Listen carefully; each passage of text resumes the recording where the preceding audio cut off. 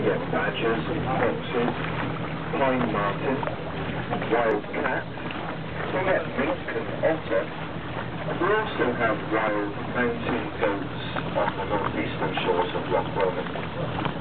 Now other forms of wildlife include birds of prey such as golden eagles.